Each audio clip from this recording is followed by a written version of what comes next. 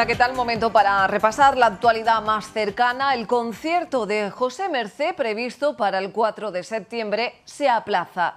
La promotora y el ayuntamiento han acordado dejarlo para más adelante, con el fin, dicen, de adecuar el formato y garantizar un mayor margen de tiempo para la distribución de entradas. El delegado de fiesta Rubén Pérez ha informado este viernes que el concierto de José Merce en la Plaza de Toros el próximo 4 de septiembre se aplaza. El artista jerezano iba a ser el encargado de abrir el programa de las fiestas de la Vendimia y su actuación era muy esperada tras años sin actuar en un evento organizado por el ayuntamiento. Según el delegado, la promotora del concierto de José Mercé ha solicitado un aplazamiento, lo que, a juicio de Pérez, permitirá adecuar el formato y garantizar un mayor margen de tiempo para la distribución de entradas. Recordemos que tenía un aforo bastante importante ambas partes. Compartimos la idoneidad eh, del regreso de Mercedes Jerez, pero que se produzca por todo lo alto y coincidimos eh, en dejar mm, y darnos más tiempo para afrontar este evento con las mejores condiciones posibles. De momento no se ha desvelado ninguna fecha acerca de cuándo tendrá lugar finalmente el concierto.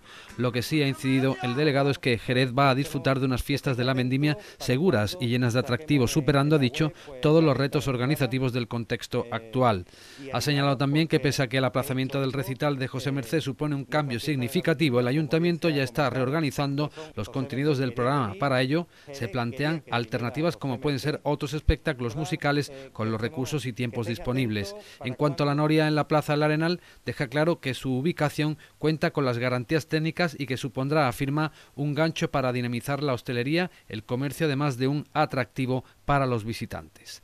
Eh, contamos con todas las garantías técnicas que hacen viable esta instalación, en un punto que no apoya sobre la estructura del parking. No obstante, es normal que la implantación de una estructura de estas dimensiones surjan imprevistos que estamos afrontando con total naturalidad. Estamos haciendo un seguimiento para garantizar el área de influencia en torno a la atracción y el flujo de personas en el entorno con todas las garantías. Pérez Carvajal señala que esta atracción contribuirá a la reactivación económica y el empleo como lo ha hecho en otras grandes ciudades como Sevilla o Valladolid. Cerca de medio millar de jerezanos se podrán beneficiar de los cursos de formación profesional para el empleo que organiza el Ayuntamiento. Se trata de un programa financiado por fondos europeos y municipales y para el que se han ofertado varias acciones formativas. En una primera tanda se han recibido casi mil solicitudes. El delegado de Empleo y Reactivación Económica, Juan Antonio Cabello, ha abordado los cursos de formación profesional para el empleo que ha organizado el ayuntamiento. Se han ofertado cuatro lotes en varias tandas. En una primera tanda se han convocado 11 acciones formativas en las que participan 15 alumnos por curso, contando con una financiación de 517.600 euros, abonados en un 80% con fondos FEDER y en un 20% por el propio consistorio. De entre todas las especialidades, las que mayor demanda han registrado han sido las de cocina, docencia para la formación profesional y construcción. En una segunda convocatoria se va a ofertar formación dentro del sector agroalimentario, jardinería, soldadura, limpieza o informática y comunicaciones. En esta ocasión se beneficiarán casi 200 personas desempleadas. A esos cursos se suman las 90 plazas que se ofertan con las seis acciones formativas que convocará en los próximos meses la Diputación de Cádiz. Estamos hablando de que un total de 480 personas se podrán beneficiar, eh, formarse de, estos cursos, lo cual bueno, pues es una inversión muy importante en capital humano que este Gobierno eh, del Ayuntamiento que preside Mamen Sánchez está, apostando para precisamente eso, incrementar ese capital humano tan necesario y para, para incidir ¿no? en esa reactivación económica post pandemia. El delegado también ha destacado la contratación en prácticas en empresas a 35 personas que han contado con un presupuesto de 373.000 euros, además de las 49 que han participado en el Plan de Empleo Extraordinario de Diputación.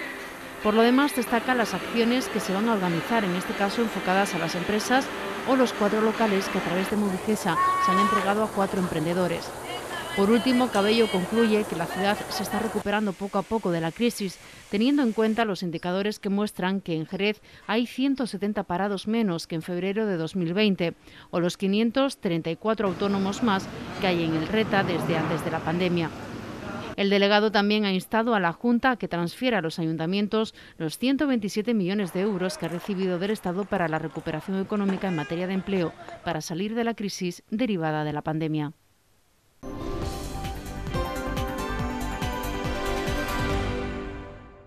Les hablamos ahora de la Oficina Municipal de Turismo, que ha duplicado respecto al verano pasado el número de atenciones. Desde el 1 de julio y hasta la fecha se han recibido más de 5.200 turistas, en su mayoría españoles. Este verano está siendo distinto en cuanto al número de visitas a nuestra ciudad. La vacunación y una mayor movilidad han propiciado un aumento de quienes han optado por viajar en sus vacaciones, aunque sea dentro del territorio nacional. Los datos así lo demuestran y es que entre el 1 y el 31 del pasado mes, por la Oficina Municipal de Turismo, situada en la Plaza del Arenal, pasaron 2.654 personas. Más del 86% procedía del resto de España, principalmente de Andalucía. Muy lejos, con un 4%, franceses, seguidos de británicos, con algo más de dos puntos, mientras que el resto lo hizo procedente de otros países de Europa supone un incremento del 132% si se compara con julio del año 2020. Este aumento es incluso mayor si nos fijamos en agosto ya que por ahora se ha duplicado. De hecho, el número de turistas alcanza los 2.600 frente a los 1.315 de hace un año. Sobre el origen de quién se acerca hasta la oficina demandando información de nuestros atractivos turísticos, se repite la misma tónica que en julio. Un 89% son españoles, un 4,4% franceses, un 1,6% del Reino Unido y un 1% del país germano.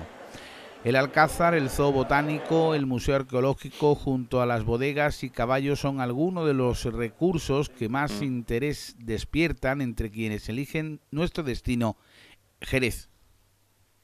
Pues bien, según el informe de coyuntura turística hotelera del Instituto Nacional de Estadística correspondiente a julio, un total de 291.400 viajeros de nuestro país pasaron sus vacaciones en nuestra provincia, generando un total de 935.900 pernoctaciones.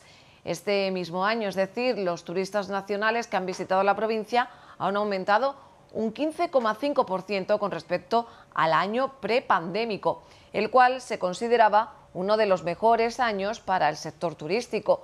El aumento del turismo de proximidad en julio de este año también se ha visto reflejado en un incremento de empleos dentro del sector.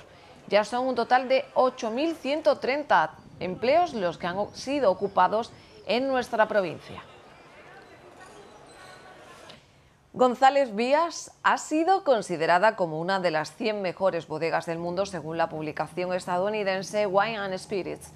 En este ranking, que está conformado por las bodegas cuyos vinos han obtenido las mejores calificaciones, se encuentra Tío Pepe Cuatro Palmas, con 53 años de envejecimiento y que ha logrado 98 puntos. Este nuevo éxito refuerza el compromiso de González Vías con la expansión internacional del vino de Jerez. Ya está en marcha la primera fase del concurso Hackathon, que se convoca dentro del segundo encuentro regional de municipios inteligentes que va a tener lugar en el Alcázar los días 23 y 24 de septiembre. Se trata de una cita destinada a estudiantes, emprendedores o cualquier persona interesada en generar proyectos que puedan contribuir desde la gestión pública al desarrollo de un territorio inteligente y resiliente que dé respuesta a los desafíos a los que en la actualidad se enfrentan los municipios, a la vez que se contribuye a la consecución de los grandes objetivos que propone la Agenda 2030 para el desarrollo sostenible. Para participar en el hackathon hay que formar equipos de un mínimo de dos personas y un máximo de cinco. En estos momentos está activa la fase previa de forma que hasta el 10 de septiembre cada equipo podrá presentar hasta tres ideas innovadoras que den respuesta a uno o varios de los desafíos, como por ejemplo la transición ecológica, el cambio climático, sostenibilidad ambiental, resiliencia y seguridad, autonomía, también la competitividad, progreso y salud, bienestar.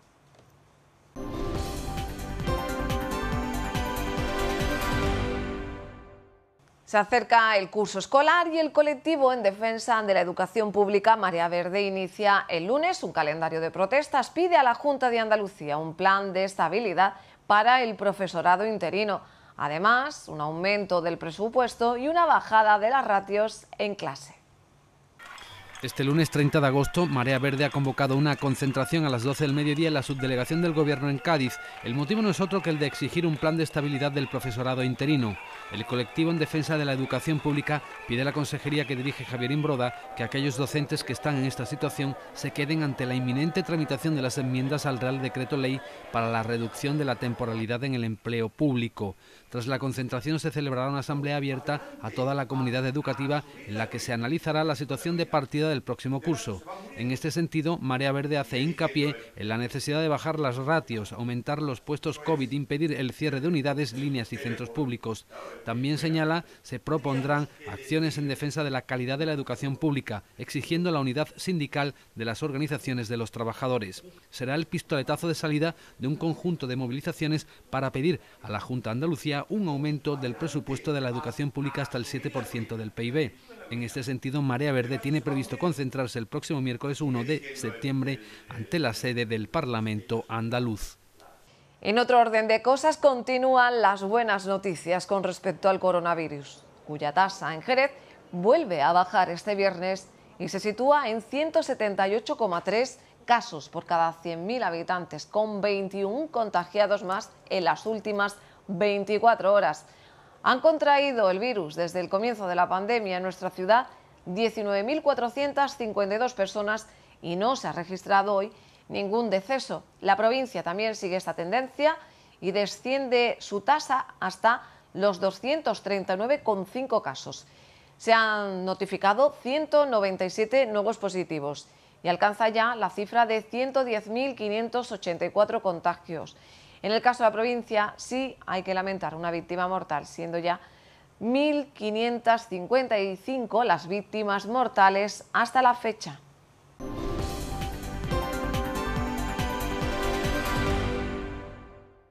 Éxito de público anoche en el Astoria con el estreno de La Primavera siempre vuelve dentro del ciclo con acento jerezano. Inspirada en su abuela, el corto de animación de Alicia Núñez Puerto cuenta con 14 nominaciones de festivales tanto a nivel nacional como internacional. La penúltima cita del ciclo con acento jerezano en el Astoria se llenó de público anoche. El motivo, la proyección por primera vez en nuestra ciudad del corto de animación La primavera siempre vuelve de Alicia Núñez Puerto como directora. Eh, es la primera vez que traemos animación a este festival a este ciclo de cine y la animación se está abriendo camino en, el nuevo cine. El teniente de alcaldesa Francisco Camas aprovechó esta cita para destacar la buena acogida que este verano está teniendo tanto esta actividad como el resto de producciones culturales programadas por el ayuntamiento, con un total de 60. De igual modo, puso de relieve el talento y valía de jóvenes como Alicia en el mundo de la cultura. Porque son muchos, muchísimos los, los, que en estos momentos en el mundo de la cultura está teniendo un gran protagonismo aquí y fuera de nuestras fronteras. Con 18 años, la jerezana Alicia Núñez se marchó a estudiar fuera comunicación audiovisual y a lo largo de dos décadas ha trabajado para prestigiosas compañías internacionales de la animación. Ahora da un paso al frente al dirigir este corto cuya historia está inspirada en su abuela ya fallecida. Creo que muchos de los que estamos aquí hemos vivido ese tipo de infancia rodeados con primos, con abuelos. Y yo quería hacer un homenaje. Eh, llegado ese momento, pues yo llevaba muchos años ya trabajando para proyectos de otra gente y me hacía mucha ilusión pensar en que yo también podía contar una historia y poder transmitirla con la gente de mi tierra. Cerca de un año llevó a Alicia y a su equipo técnico desarrollar este proyecto que ha logrado ya 14 nominaciones desde su estreno en junio en el Festival de Cine de Animación de Croacia. Fue una noche llena de emociones a flor de piel y de momentos especiales, como el que se vivió con la actuación de los autores de la canción original del corto, Tito Alcedo, así como Rafa Caballero, acompañado a la guitarra por Lucas Benítez. Que el reloj es un invento, pero el tiempo pasa. Que el reloj es un invento, pero el tiempo. Que el reloj es un invento, pero el tiempo que el reloj es un invento, pero el tiempo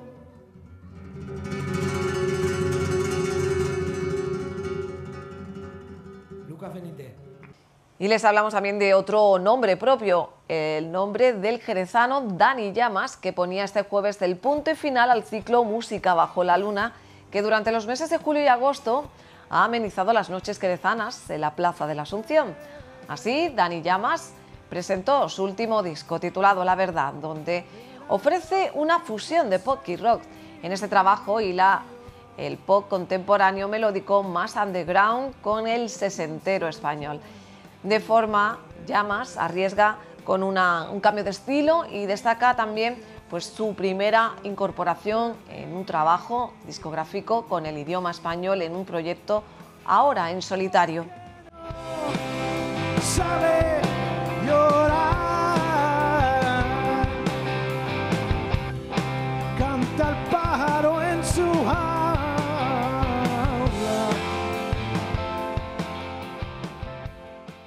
Este sábado, en la Peña de Estella del Marqués, arranca el programa Cultura Flamenca en Sherry. Es una de las novedades este año del convenio suscrito entre Diputación y la Federación Provincial de Peñas Flamencas.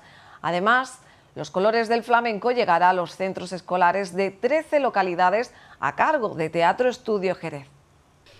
Con una dotación de 55.000 euros, Diputación, a través de la Fundación Provincial de Cultura y la Federación de Peñas Flamencas, han suscrito un convenio para la difusión de este patrimonio inmaterial de la humanidad.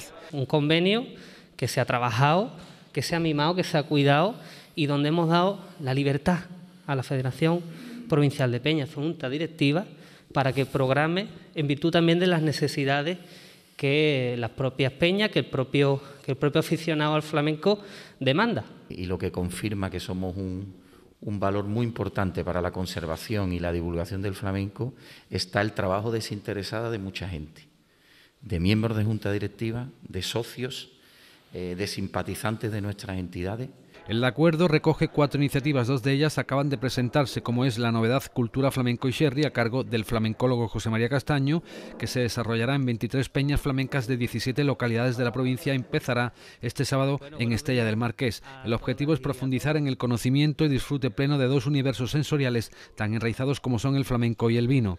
Se va a personalizar cada visita, ¿eh? porque en casa de terremoto pues vamos a hablar de esa estirpe que conecta con el sistema de criaderas y soleras, de los terremotos padre, terremoto hijo, María Terremoto, y como por ejemplo, pues si vamos a ir a Cádiz, vamos a estudiar Enrique el Mellizo. Otro de los proyectos es Aula del Flamenco, que llega a su tercera edición a través del montaje Los Colores del Flamenco con Teatro Estudio Jerez. Hasta la fecha, 6.000 escolares de toda la provincia han disfrutado de esta iniciativa con un espectáculo que aúna teatro, música y títeres. Durante la suerte que hemos tenido estos últimos años, incluido el año pasado, que fue un año muy difícil de llevar a cabo estas representaciones, eh, nos ha sorprendido la, buena acogida que tiene la propuesta de los colores del flamenco, que no es ni más ni menos que el que ellos descubran, y nos consta que muchos de ellos es por primera vez que ven flamenco en directo, los diferentes palos del flamenco. Aula de Flamenco llegará a 20 peñas federadas de 13 municipios para que los menores puedan conocer la actividad de las sedes de cada entidad. Se calcula que unos 3.000 estudiantes participarán en este proyecto que comenzará a mediados de septiembre y se prolongará hasta finales de octubre. El próximo miércoles 1 de septiembre se celebra el Día Internacional de los Primates. Esta jornada se instauró con el objetivo de reflexionar sobre las amenazas que enfrentan las diferentes especies y para hacer un llamamiento al compromiso para su conservación. Este año es el primero que el Zoo Botánico de Jerez se une a la celebración de este día, concretamente este sábado. De esta forma se va a colocar un stand en la entrada del parque, donde los representantes de la ONG SOS Primates van a repartir información sobre la tarea que hacen, además de recoger donativos a cambio de artesanía y detalles hechos en el Congo y algunos otros en nuestro país, siendo todos los donativos destinados al Centro de Rehabilitación de Primates de Liguiro. También habrá un taller infantil y unas charlas.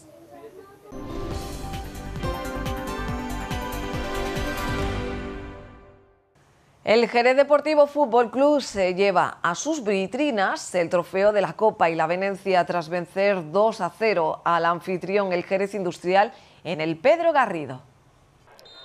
Los de Pérez Herrera se alzaron con la decimonovena edición del Trofeo de la Copa de la Venecia disputado este jueves y que dejó para los espectadores un entretenido encuentro que los azulinos supieron controlar. A poco del comienzo de la liga, para ambos equipos suponía esta cita una nueva probatura para ir limando detalles en el juego. Cinco minutos bastaron para inaugurar el marcador. Acción a balón parado del Fútbol Club que saca Ignacio Goma y remata Alberto Durán poniendo el 1 a 0 en el marcador. No se amilanó el Industrial, que lo intentó entrando el partido en una dinámica más igualada, con internadas e intentos de ambos equipos más peligrosos por parte de los de Pérez Herrera.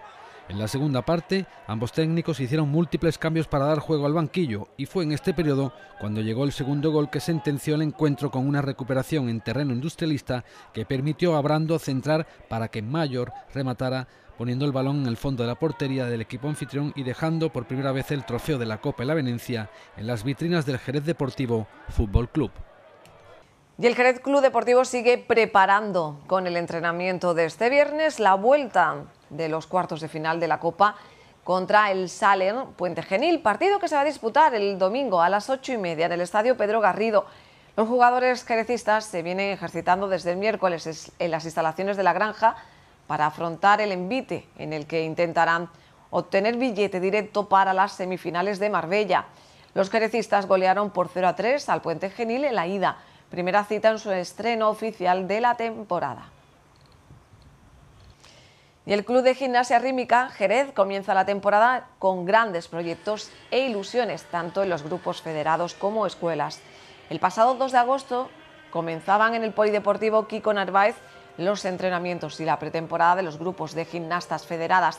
A esta pretemporada se han ido uniendo durante el mes la mayor parte de las gimnastas federadas, realizando entrenamientos de pretemporada para ponerse a punto, ya que en septiembre comenzará la temporada de conjuntos tanto a nivel andaluz como nacional.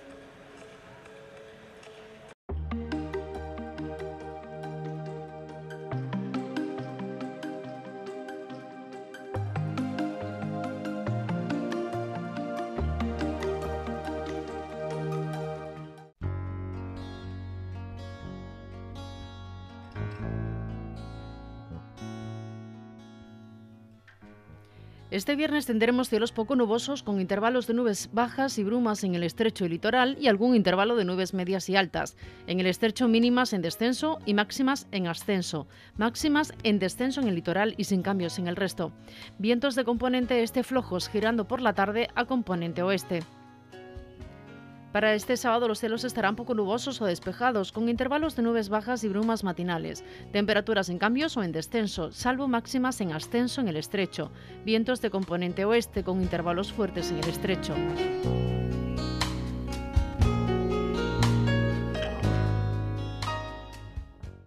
Pues como cada día nos marchamos con la información del tiempo. Gracias por elegirnos. Sigan disfrutando de la programación de su emisora pública de Onda Jerez. Feliz fin de semana. Adiós.